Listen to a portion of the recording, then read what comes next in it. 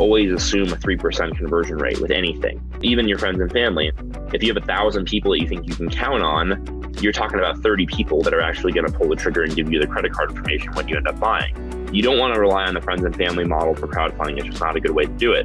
What you want to rely on is an email list. They say that laughter is the best medicine.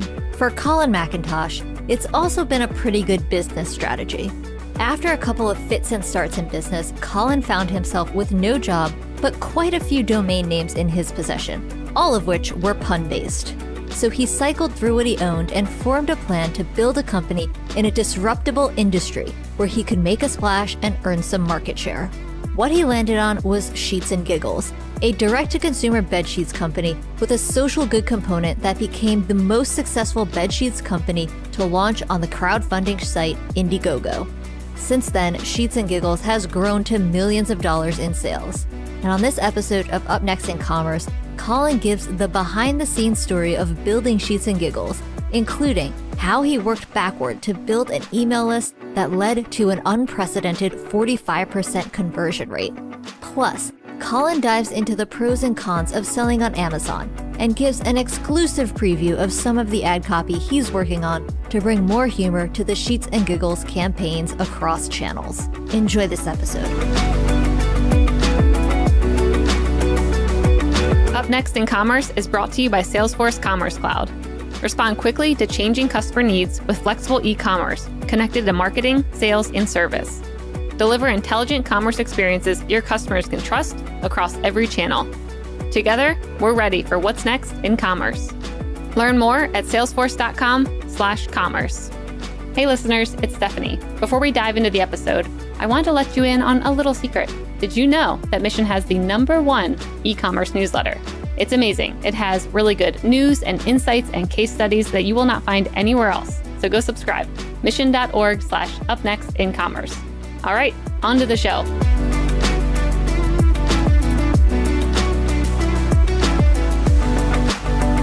Hey everyone, this is Stephanie Postles, co founder of Mission.org and your host of Up Next in Commerce. Welcome back.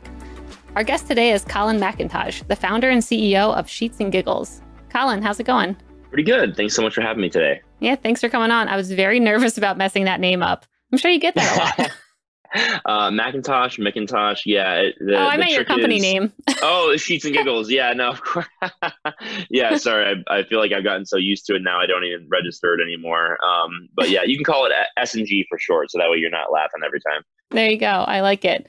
So before the show started, we were going a little bit through your background, which I think people would like to hear before we get into Sheets and Giggles. So I'd love for you to kind of start there. Of you know, how did you come to founding Sheets and Giggles? What came before that? Uh, well, a lot came before. It depends on how far back you want to go. I I uh, graduated from Emory University's uh, business school back in 2012, and I started my career at the world's largest hedge fund in Connecticut, a place called Bridgewater Associates. Mm-hmm. And uh, the guy, the founder there, a guy named Ray Dalio, is pretty famous nowadays. Yes. I got fired in about five months.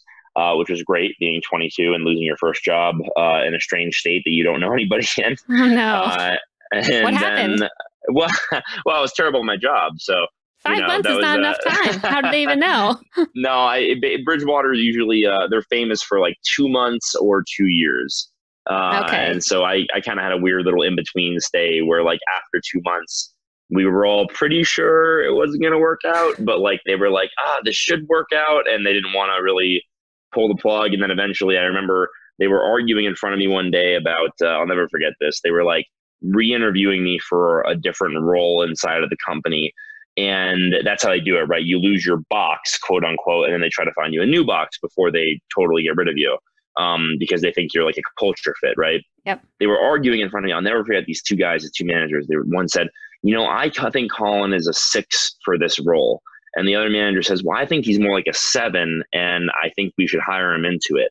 And they're arguing six seven six seven out of ten and then the arbiter goes look, guys, he can't get hired into the role if he's not a seven. If he's a six, we can't make give him the offer. Okay. And then they agree, okay, he's a six and a half, and we'll need to have another meeting on it. And I, and I remember I raised my hand and I go, guys, let me do this. Today's gonna be my last day at Bridgewater. And I was like, I just couldn't deal with that type of like Yeah, rating you. It was, it was crazy. Yeah. And so that was uh, my first job experience. And from there, I became a recruiter, uh, third party agency, recruiting for banks and hedge funds and startups. Um, that's where I got into technology and startups and software. Uh, taught myself a lot about uh, software development and uh, software engineering, and ended up hiring a bunch of different engineers at a bunch of different companies. And I ended up hiring myself at one of my clients in Seattle in a really interesting B2B software space called application virtualization, uh, which is mm-hmm. really hot in 2014, still pretty hot. And I ended up moving out to Seattle.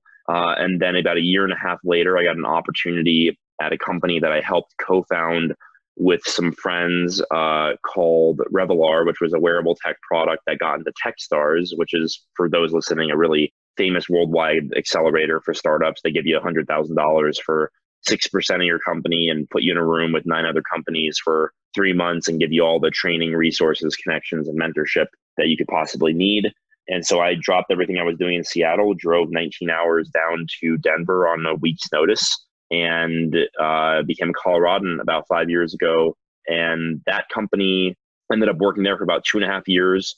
We all got laid off at 1 p.m. on a Sunday, as startups unfortunately go. And it was really sad. We had raised millions of dollars and we're in Target and Brookstone and HSN, QVC deals, T-Mobile stores. But that product unfortunately didn't have all the legs that we thought it did.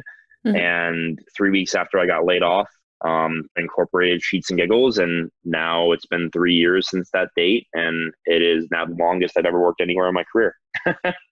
That's great. So, so what is Sheets and Giggles, and how did you have the idea to start it? Well, for anyone who hasn't heard of us, it's okay. Although I will hold it against you. Um, we very rude. Uh, very rude. Uh, we sell bed sheets that are sustainable, and they're made out of a material called lyocell, which is made from eucalyptus trees. And so, if you you know Google or Amazon eucalyptus sheets, were generally the first result. Um, lyocell sheets is another query we rank high for. Um, and what our sheets do is they actually save up to 96% of the water that cotton sheets do uh, use, which is about a thousand gallon reduction. And then they also save energy. They use no pesticides, no insecticides, whereas cotton can use 16 to 24% of the world's insecticides just by itself as a crop. They also biodegrade faster than cotton. They're hypoallergenic, they're zero static, and they're naturally softer and more cooling. So if you're a hot sleeper, they're the best possible material the eucalyptus lyocell is for hot sleepers. And so it's a really wonderful product. Uh, we began manufacturing it about two and a half years ago, and we now have shipped tens of thousands of orders. We've raised a couple million dollars in capital, although uh, we are mostly revenue funded and we grow according to our revenue. And we are just loving life right now. We're a very socially conscious company, and it's really wonderful to be able to have fun, do good, and, and make money at the same time. That's great. So, with your company, did you see an opportunity in the market from doing research, or did you just wake up one night sweaty, like, oh, I need to build better sheets? This is not right. Like, how did that? A great question. happen? So, so whenever I hear founder interviews from like Brooklinen or like other uh, you know, bed sheets companies. And I, and I, hate to throw Brooklinen under the bus. They're a great company, Sorry, and Brooklyn. I really respect. No, I, re- I really respect what they've built. They've, you know, they get like a hundred million dollars in trailing twelve months revenue. Like they're yeah, wonder, wonderful company, right? But their fa- their co-founders However. go on these these podcasts, and they're like, "Oh, we were staying in these hotel sheets, and we were like, oh, they're so lovely." And then we found out how expensive they were, and we were like, "There had to be a better way." Nobody starts a company because they stayed at a hotel. Like they like they saw a really good business model. They found a manufacturer who would make really good, uh, you know, products for them at, a, at, an affordable price so they could resell at a higher price, and they went from there. And that's great, and they should be proud of that. And so that's sort of uh, more or less what happened with S&G, where it was actually a business model play first. And I'm a big, like a big, big advocate of sustainability and, climate change is one of my hot buttons. I've always had a bleeding heart. I've I've worked at startups trying to end animal euthanasia. I my last startup, the wearable tech startup I talked about, we were trying to fight sexual assault and violence. We actually sent out 60,000 emergency alerts, saved a bunch of lives, which was really a wonderful, wonderful thing that, uh, that the company did. But, you know, this company, I really wanted to have a sustainability mission. And so I kind of sat down and I wrote out my perfect business model uh, with a sustainability mission. This is a true story. I looked at all the domains that I owned And I own sheetsgiggles.com because I thought it'd be a funny name for a bed sheets company. I have a lot of pun based domains that I own.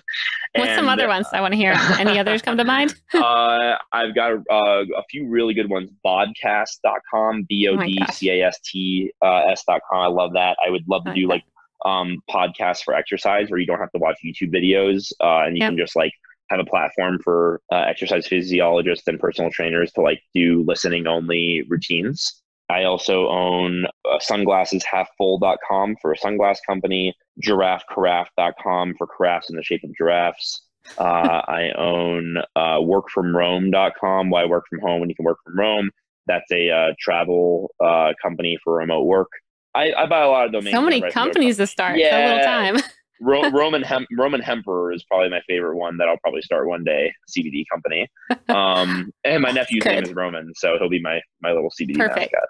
Um, yeah, I'm sure my sister will love that. Yeah, um, I think she will. yeah, but yeah. So to answer your question, a lot of them, and uh, and so I owned sheetsgiggles.com. I thought does bedding fit my criteria, and it fit perfectly. Twelve billion dollar U.S. market, growing ten percent year over year highly fragmented. The top five players only own about 27% of the market. Um, and it wasn't fully online at that point. It was still mostly physical retail. And so I kind of just put my head down and I, I fell in love with this brand. And that, that was the other thing is I just fell in love with the idea of a funny brand in a very boring space, especially if it's a sustainable premium product and you can still do a funny brand. That's a really hard tightrope to walk. And I really fell in love with like the branding challenge and that was kind of when I put my head down in October 2017. I, I created a brand identity map for this pun based bedding empire, is what I would call it to people. And, you know, me and a couple contractors just designed uh, a logo and I built my own website, wrote every single word of copy myself, would stay up till four in the morning writing, wake up at 8 a.m., start writing again and just totally fell in love with this weird little company that I was creating in my bed in my underwear. And in May 2018, we did our crowdfunding campaign on Indiegogo, raised $284,000 crowdfunded. Love those crowdfunders and have a very special relationship with thousands of people who brought the company to life. And it's all been history since there. That's really fun. How did you, like, what was your experience on Indiegogo. How did you get found? Because a lot a lot of times on those crowdfunding platforms, it seems like there's so much noise nowadays. Like in the early days, it's probably yeah. easy to get found. Now it's like, oh my gosh, if I put something up there, there's like thousands of other people trying to raise money for something. Like, how did you make sure that people found your potential product?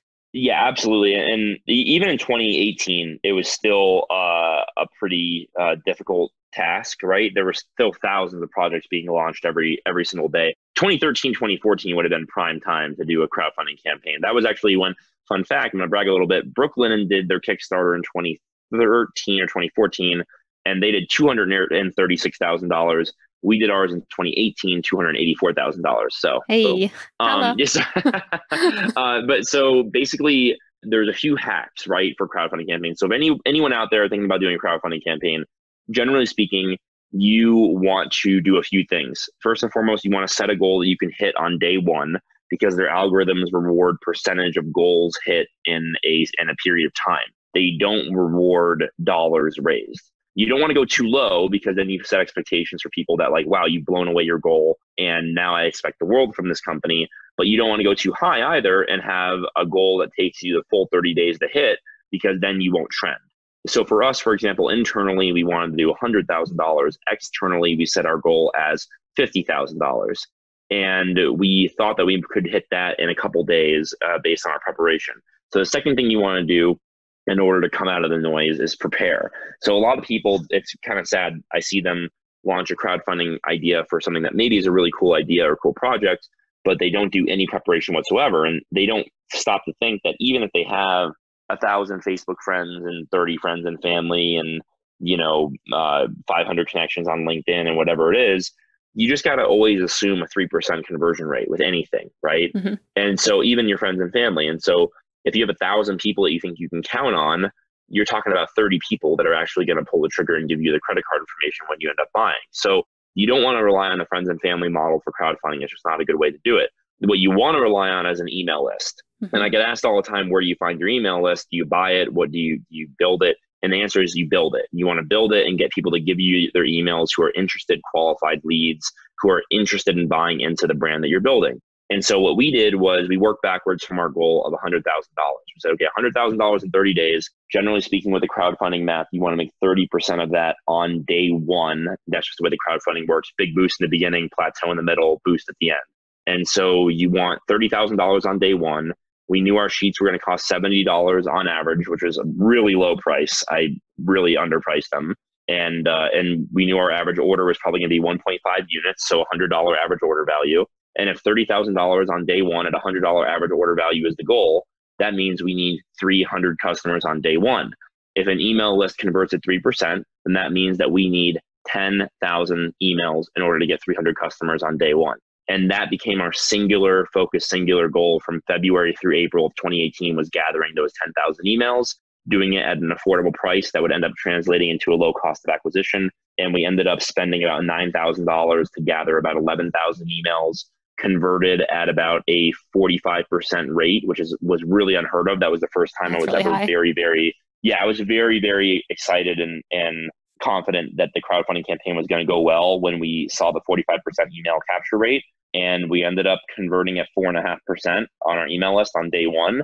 And we had a $45,000 day one, just like clockwork. That's awesome. I like the idea of working backwards. I think enough people don't think of like, what do I want my end result to be and how do I make sure to get there? And like you said, they rely on, oh, I have enough friends who will buy, which I've also experienced. Does not work. Friends and family can only go so Doesn't. far. Yeah, but- people forget. People get busy. They have busy mornings. They forget. Like you need like a big boost all at once to come out of the noise on crowdfunding. And so we ended up being the number two trending topic on on Indiegogo. That's that's awesome. So how did you go about building your email list? Because acquiring emails for the price that you did is very good. Conversions are very good. I mean, you can get a ton of emails these days, but a lot of them probably wouldn't be qualified if you don't do it the right way. So what kind of tactics did you use to get good emails who are qualified buyers to make sure that they actually ended up converting when you launched? So that's a great question. Uh, first and foremost, uh, if you're going to do a crowdfunding campaign, I would recommend hiring a digital agency that specializes in crowdfunding. But I would be very careful about whom because there's a ton of sharks and predators in this industry who will take, you know, your two thousand dollar setup fee and they'll promise you the moon, right? There is one agency I recommend. My buddy Will Russell. He's the man, Russell Marketing in New York, and uh, I trust him with my life. So I hired Will. I had known him tangentially through the last place I worked at. And uh, he basically flew out the Boulder. We sat down, we whiteboarded things out in February 2018 about you know our plan for the crowdfunding campaign.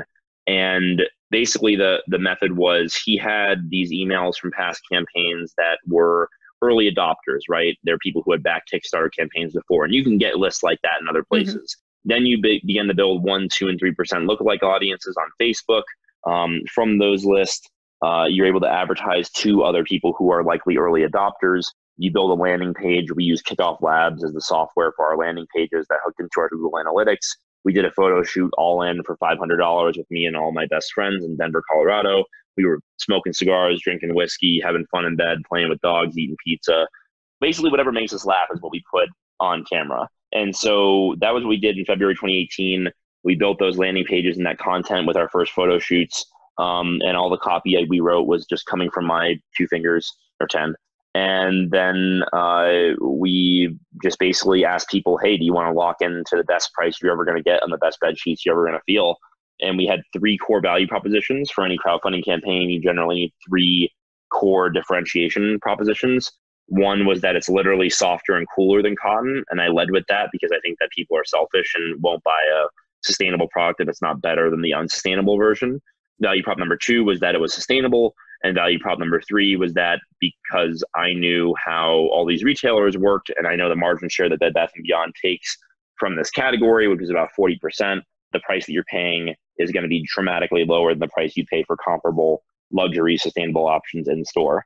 And those were our three value props and it really resonated. That's great. So, what does your customer acquisition strategy look like now that's different than maybe what you did with Indiegogo? Now, I mean, now I have a in-house marketing team, uh, four-person team. They're they're absolutely wonderful. Uh, Sarah, our VP of marketing, is a total genius, and she is someone who, on the performance marketing side, I think is unmatched. And I basically give her, I'll be completely honest, I give her free reign at this stage. because a, a founder skill set is fundamentally different than a CEO skill set. Mhm. And I'm doing my best to transition from founder to CEO. And part of that is not micromanaging and frankly being okay with a much more boring job of facilitating supporting financing and managing Yep. versus being the being the creative being the brand voice being the copywriter being the photographer and the videographer and the facebook uh, data analyzer and the amazon ad uh, creator like i i can't do that anymore because it just doesn't scale and it's also a good way to get talented people to leave when they feel like they're being micromanaged so in terms of our actual actual strategies, uh, I basically it's all direct to consumer on our website sheetsgiggles.com uh, and Amazon, and we've got core channels of Facebook, Instagram, Google, and Amazon as our digital spend. We do some podcast advertising, so definitely get in touch about that. Um, and we also do radio advertising on Colorado Public Radio and a few other stations. And then we've tried direct mail. We've tried a few other funky things. Nothing has the ROAS that digital tends to have in terms of email strategy nowadays, we actually don't email people nearly that as often as we used to. Mhm. In the very beginning, when we launched Indiegogo, we'd email people maybe once a week. Now we're probably emailing people once a quarter, which is really crazy for a direct to consumer brand. Like I every, every direct to consumer brand in my inbox blows up my inbox like four times a week. Like buy more of our shit. And you know the amount of sandal emails that I get from like my sandal company is ridiculous. Uh, Mhm. And so we email people only when we want them to take a very specific action. Um, and that leads to open rates of, you know, high 40s on emails, which is really, really stellar for, for open rates on emails. And we make sure that we use that wisely and we don't uh, over inundate people. That's great. So, what are your favorite channels right now? Like, of everything that you just mentioned, is there any channel that you're maybe putting more budget into or that you're seeing higher success with? If I can find a ROAS that beats Facebook, I will pull all my Facebook spend tomorrow. Yeah. um, but they're definitely the highest ROAS. Uh, branded search is obviously the thing that's going to be best in the long run. So we spend a lot of time building up our brand recognition um, with people and our brand affinity. Just earned media is really good too. We have a PR agency that we employ, and we got we got covered yesterday by the Daily Beast, and um, we've been covered by Real Simple and Forbes and Apartment Therapy. We are in Apartment Therapy's Best of 2020 picks and uh, a lot of other publications. We've been on today.com and Amazon gives us a lot of shout outs because of the philanthropy that we do. And so that's been really helpful to have Amazon as like a, a big partner in, in our PR and in our discovery and exposure. Um, so overall, yeah, I'm, I'm just really, I, I would say Facebook and earned media are probably the two biggest ones. And then I do love radio and podcast advertising, and I'm trying to figure out how to make that funnier for the listener. hmm And so I'm I'm currently recording a few new podcast ads that I think are going to be really funny and not like in a really bad Geico, not funny at all way, but like actual bits on the radio. Oh, give me a bit. What are you working with? Want to hear. You can practice okay. it here. There's no judgment. Okay, great, great, great. So I so I've got one that I think is pretty funny in like a kind of a meta sort of way where I want to go on a podcast and be like, "Hi, you know, I'm uh, like, you know, it's like have you ever heard the CEO of Harry's do his thing? Like, I'm not Yeah. famous, but I'm the CEO of Harry's. So Yeah. like, hi, like I'm I'm Colin, CEO of Sheets and Giggles. That um probably means nothing to you, which is kind of depressing, a little sad. We're we're a young company. We're based in Denver. We um you know we do do some good stuff. Oh, we sell bed sheets. I should probably probably leave with that. Um, God, how does the Harry CEO do this? Um, and and, and basically like go that, and then like somebody in the background goes. 10 seconds 10 seconds and i'm like yeah, we uh we sell uh eucalyptus bed sheets um they're sustainable they're softer than cotton go buy them sheetsgiggles.com and like that's the end of the end of that and then That's like actually catchy. I like that because then you. people are like, "What is this dude gonna say?" And did he know he was recording? and then I want to record like four or five versions of that that run on different different roles and like and basically it moves from like okay, you know, like they gave me a second take. I got it this time. I'm Colin, CEO of Sheets and Giggles. Again, we sell bed sheets. I feel like that's obvious. Uh, maybe not that obvious. I don't know. Like if it was just called like sheets without the giggles, it'd be a little more obvious. And somebody's like 10 seconds. I'd be like, oh my God. Like, and then like get back into it again. And and so I think that like those little like bits and like the non sequiturs and stuff is like very much our comedy and and the trailing off and the tangents. And so I really want to write a few different bits like that that really flow with one another. Yeah, that that's pretty great. I can't wait to hear those on radio or other podcast ads. Do you ever feel like selling through humor like that could hold you back in a way. Cause sometimes I see some brands where like that's so much their angle that it kind of gets away from, you know, the product because they get so funny where you're like, wait, what are you actually selling again? so like how do you guys balance that to make sure you're still, you know, selling, but in an innovative new way that's setting you apart from others? Yeah, it's actually a stellar question. I, I see that all the time when I see like an Instagram brand that's like just like pure, pure, pure funny without ever talking about their products in any way or ever talking about like their reviews or like the, you know, their sustainability is just like buy us buy our shorts because we're funny. It's like, dude, they're polyester shorts. I'm not gonna buy your polyester shorts because you're funny. Yeah. But like the thing that we do, I think is, that is not unique, but I think is smart is we basically let our reviews do the talking for us. So we always say like we're not serious, but the sheets are, and that's kind of our our mantra is like we don't need to sell the sheets. Like our reviews sell the sheets. Our stats sell the sheets. Like we you know the amount of water we save the pesticides and insecticides we save we plant a tree for every order we've got 3000 reviews on our website 4.8 stars and we don't hide our one star and two star reviews like a lot of other consumer brands do. Um, we have 845 reviews on amazon as of this morning. I check every single day. I personally as a ceo read every single review that comes in. We have a slack plugin that pulls every single review and puts it in front of my face every time we get one in live time. You know, on Amazon, we're four and a half stars. On Facebook, we're 4.7 with 116 reviews, I think. And so, like, that type of cross channel confidence in terms of review score is really important for the consumer. And then the sustainability, the planting of a tree for every order. We give you 10% off if you donate your old sheets to a homeless shelter. Um, we pledge 1% of our profits, time, products, and equity to local Colorado charities. We've donated $40,000 this year to Colorado COVID 19 emergency relief like the stuff that we do, I think really speaks for itself. And we don't have to really broadcast it and advertise it, even though I just obviously did.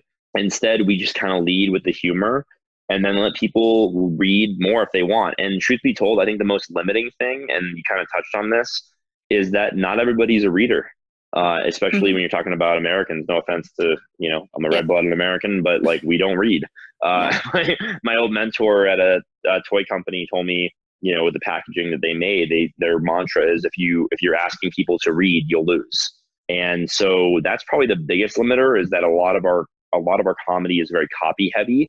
A lot of other people are more visual or meme based or you know slapstick and video and we're much more copy heavy. And so I, I like to think about us as sort of like a the Seinfeld of, of bedding brands, which is probably the first time that's been uttered uh, in the sentence. Was that your uh, Techstars, like you know YC type of thing of I am this or that? kind of, yeah. When we went to Techstars, I, they were like, "Why? Why should we have a bedding company in Techstars?" And my, I think I was just like, "Why not?" And they were like, huh, "You're never in. thought about it like that." I was like, "You're in." Yeah, like, yeah. Like, but uh, yeah, Seinfeld of bedding companies was uh was like kind of the way that I always thought about it. Is like it's a it's a brand about nothing, and by being a brand about nothing, it really is a wonderful way for us to be a brand about everything. And that was the beauty of Seinfeld, which is my favorite TV show, obviously, is that every episode was about its own little subtopic, and it didn't have to have this overarching theme or you know story arc and that's great with us is one day we can donate $12,000 to the World Wildlife Fund to save koalas. Um, another day we can donate 40,000 to COVID-19 relief. Another day we can donate thousands of dollars to Black Lives Matter organizations. Another day we can plant 20,000 trees for last year's orders. Like, and, and we don't have this kind of like overarching thing that we push on people. Instead, they can just discover it if they want to keep reading. And then we just try to make the copy entertaining for them to find their way through our website. Cool. Yeah, that that's a good way to explain it, and yeah, it makes sense how you guys do it. So it is limiting though. Yeah, not not it's you know when you're building a brand, you want 20% of people to really viscerally resonate with it, and 80% of people you know to either be meh or like react poorly to it. Yeah. And then that way, you just don't want indifference. That's the biggest thing. Is I see so many direct to consumer brands that are like the next shiny thing, like oh, like the best apparel you'll ever buy, or like the mm-hmm. best makeup or the best like food or like they're all the same exact brand and it bores me to tears the white stuff on the white walls with the white curtains in the white room like it's like yep. oh just kill me yeah yeah completely agree so how do you encourage reviews you were mentioning that you have a ton of reviews like how do you get people to follow through and actually take the time to give you reviews?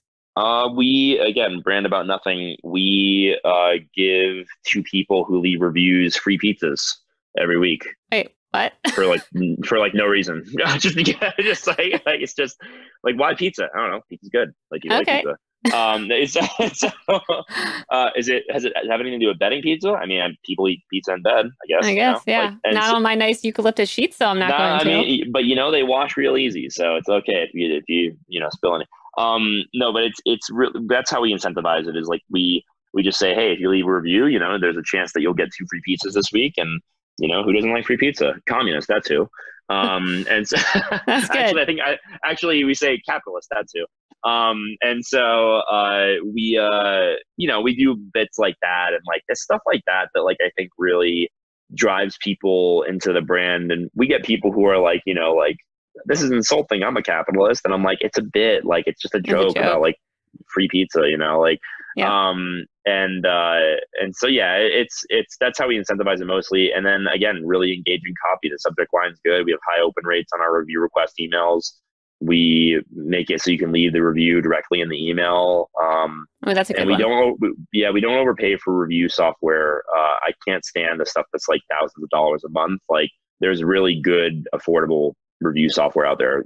Okay cool. So how did you think about moving on to Amazon because we've had a couple DTC companies on here, quite a few, and it's been kind of mixed where, you know, some were very excited about Amazon, some were like, oh, I pulled it off because it kind of watered down the brand and they could end up just copying us and making a white label. And so there's been a lot of mixed thoughts around working with Amazon. So what led you to wanting to utilize their platform? Obviously, they're featuring you and helping you guys. Like, what are your thoughts um, around having a DTC company on Amazon? So Amazon's been a real. Amazon is is Amazon. It's the best partner you'll ever have and the worst partner you'll ever have, and exists simultaneously in the same platform. And you know, so the that and that's why you you hear this sort of debate or dichotomy amongst founders where it's like, do you want to go on on Amazon? And the pros, right, are that 54% of Americans, I think up to 60% of Americans now, start a product search on Amazon. They've trained the American populace to when they're looking for a thing, go to Amazon.com. Google has lost that battle. And so it's a massive channel that you really, uh, it's hard to avoid. The, you know, so you have discoverability, you have, uh, you know, channel, you can have channel dominance. Like if you rise to the top of search terms for a high volume query, you can just have rake in cash with no marketing spend whatsoever for years until somebody tries to come beat you. It's a really stellar platform. Uh, the negatives are, of course, that Amazon's extremely impersonal as a company. It's hard to get people on the phone there, although we do have account managers now. It is expensive. They take, you know, 25 to 30% margin share all in when you end up calculating all the fees from most companies, um, which is a really, really difficult thing for a lot of small businesses to swallow. And then you wind up paying them more to advertise on their platform to give them money when you make a sale. And so they're they're a really good partner in a number of ways. They do a lot of really great things uh, for their companies, especially their small business partners. But you know, overall, it, it's a love hate relationship for sure. Yep. And you know, you can do one thing wrong and get your whole listing pulled, and, and that can be really devastating too. So overall, for me, it's a no brainer because more than half of your audience is starting a product search on a specific channel. Uh, you have to be on that channel. Period. Mm-hmm. End of story even if you're only doing it for branded searches. Yeah, yeah, completely agree. So earlier you're talking about working with PR firms and you know different efforts to bring new people, new customers your way. How do you guys have um, your backend set up to be able to handle fulfillments? Like, what does your tech stack look like to be able to handle any surges in demand? Uh, so surges in demand are actually difficult because we, you know, for forecasting forecasting demand is extremely difficult. Forecasting inventory becomes extremely difficult and then you put those two things together and you have to forecast the amount of people that you have working on your warehouse team at any point in time which is extremely difficult. And so when it comes to surges and spikes we, we use a 3pl third party logistics provider to ship out all of our orders both on our website and on amazon. We do fbm on amazon instead of fba mm-hmm. um, and so we are basically able to get probably 99% of orders shipped out within a 24 hour period. But when we do have have big surges and big backlogs, it can slip to 72 hours because we are paying for that 3PL service. they have a finite amount of people that they forecasted to work on their you know thousand brand partners that you that share the warehouse space and it's a really good way to like lower the cost overall fulfillment from like a small warehouse operation if you're running it yourself because you're sharing that that square footage with so many other brands and you're sharing the labor with so many other brands it's a pretty straightforward process nowadays in terms of hooking up a 3pl in the beginning for the first six months of the company uh, october 2018 through march 2019 i was shipping out almost every box myself along with a, a three person team in denver colorado we had our own warehouse space we had a thousand square feet. We were packaging. We could do like maybe 250 orders a day maximum. And we were just trying to burn getting through holiday 2018 on our own. Uh, it was crazy. It was so, so, so hectic. um, yeah, I, I, think I shipped 3,000 boxes in like a three week period at one point in time with my, with the rest of my team, like working eight hours, 10 hours a day in the warehouse and, you know, buy everybody lunch every day. And it was great. Uh, I had my customer service team in there working with me it's definitely a lot easier when you can scale up and use a 3PL. I do know some companies that run their own warehouse space that actually wind up with all the headaches that it comes with and migraines that it comes with. They do wind up having a lower cost per unit in terms of fulfillment than we do. So there's certainly something to be said for that. But I think that right now we're at the 3PL stage for sure. Yep. Yeah, that makes sense.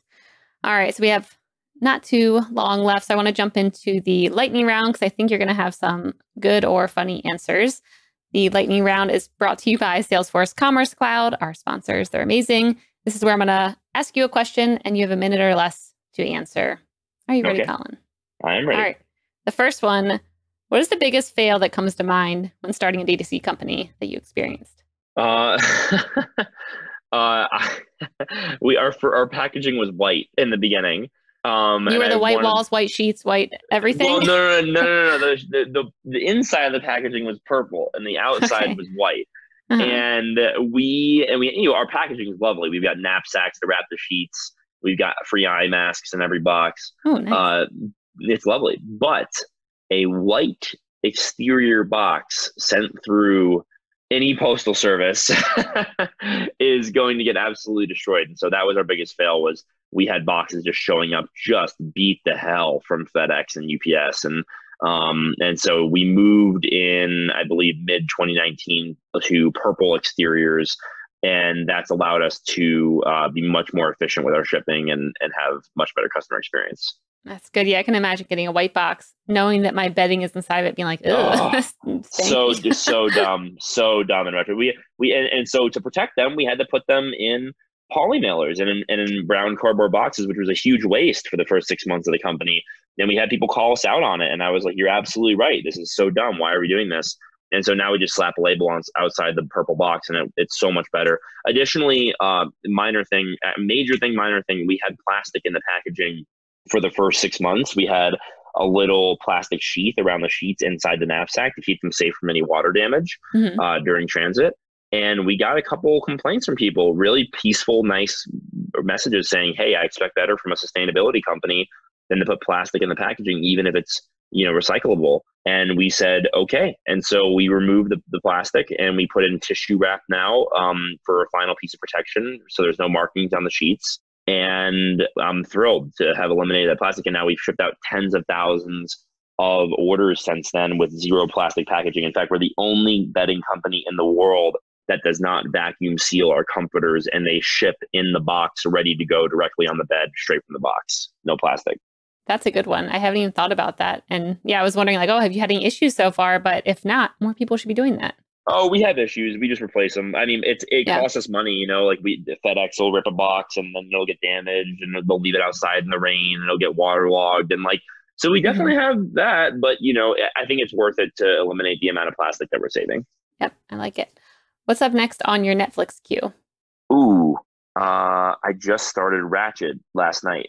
It looks too scary really for good. me. I'm a baby. It, uh, you know, I I like stuff like that. That's a little trippy. Yeah. Um, and I'm also a huge Marvel nerd, so I'm still waiting for the next Marvel series, but that's a Disney Plus queue. Uh, so I cannot wait for WandaVision and Falcon and the Winter Soldier. And The Mandalorian is in two weeks as well. So I'm really excited for that. Oh, you got your whole queue set up. I like it. I'm a nerd. Yeah, I love that stuff. Well, I know you said people aren't readers, but do you have anything that's coming up on your reading list?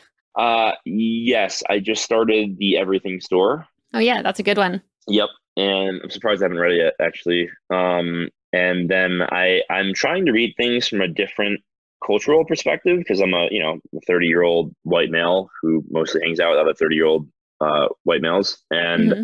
so I've got a book called Well Behaved Indian Women that I just started, and I'm really uh, enjoying it. It's like a totally different cultural perspective. I, like it's so foreign to me, and it's really really great to immerse myself in that. And uh, I'm trying to think if there's anything else up next, but those are the two big ones. You have to try that out. What new e-commerce tool are you trying out right now or having success with?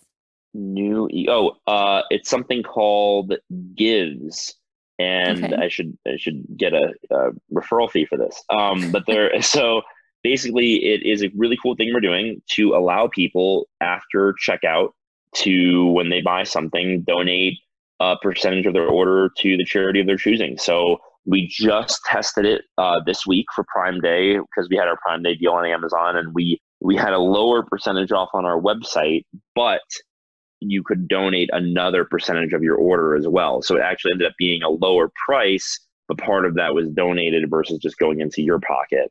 And uh, it's really cool. So so our now our customers moving forward, and we're, and we're trying to decide if we want to do this on only special occasions or on everyday type of thing.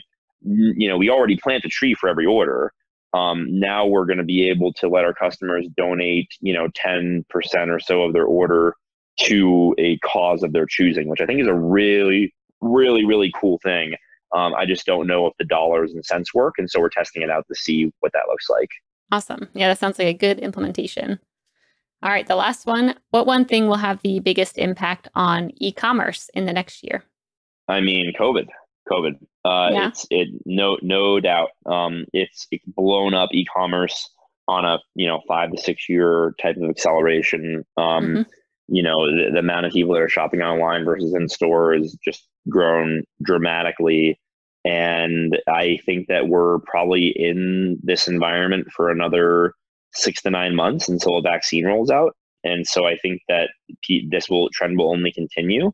And I think that that's been a, a huge, huge driver of e-commerce. And I think it's it's both good and bad. Obviously, the the it can be good for some industries and horrific for others. And so it's also a logistics issue. And everybody listening out there, when you order stuff online right now, it's not the brand's fault if it takes 14 days to get to you. If FedEx is trying to hire 70,000 people by Christmas and I, they're not going to hit that, they're going to hit like 50,000, which is still a dramatic undertaking. Um, but the amount of packages going out right now is is just overwhelming the systems that we built. Yep. Yeah, completely agree. All right, Colin, this has been a fun interview. Where can people find out more about Sheets and Giggles and yourself? Uh, I'm a pretty private person. I do have a public Twitter, Colin D. McIntosh, uh, Sheets and Giggles. You can Google us. Uh, sheetsgiggles.com is the website. No and in the URL, just sheetsgiggles.com. And then we're also on Amazon. If you want to search for our sheets there, Sheets and Giggles, you click the sheets. And yeah, I, I'm pretty easy to find. Uh, and then our social media, Sheets Giggles. So just at Sheets Giggles everywhere on Instagram, uh, Twitter, Facebook. We're a good follow we, we promise we don't just post pictures of our products all the time and ask you to buy them. And uh, we just hit 10,000 followers on Instagram, which I'm really excited about. We're, you know, we, we've never paid for a single follower, so it's fun to build this organic following over time. Oh, that's great. Yeah. Nice work there. All right, Colin. Thanks. Well, thanks so much for coming on. This has been a blast, and we'll have to have yeah. you on again in the future.